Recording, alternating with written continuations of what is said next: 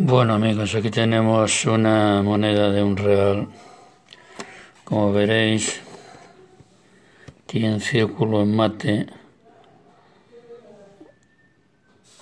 círculo granizado alrededor de aquí en el centro.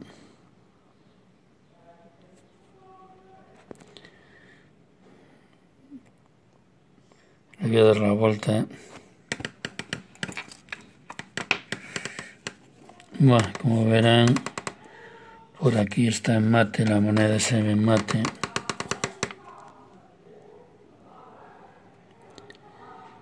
También se ve un poco de círculo, las estrellas están granuladas también.